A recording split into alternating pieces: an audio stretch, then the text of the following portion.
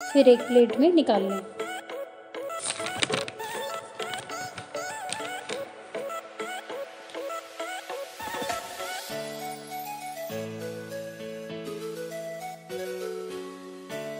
व्रत में कटलेट कुरारे कुरारे बहुत अच्छे लगते हैं।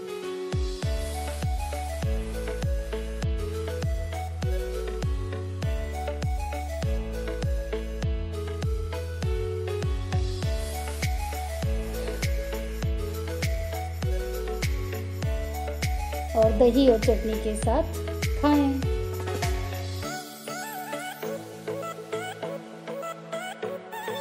धन्यवाद। आपको ये वीडियो अच्छी लगे तो लाइक एंड सब्सक्राइब ज़रूर करें।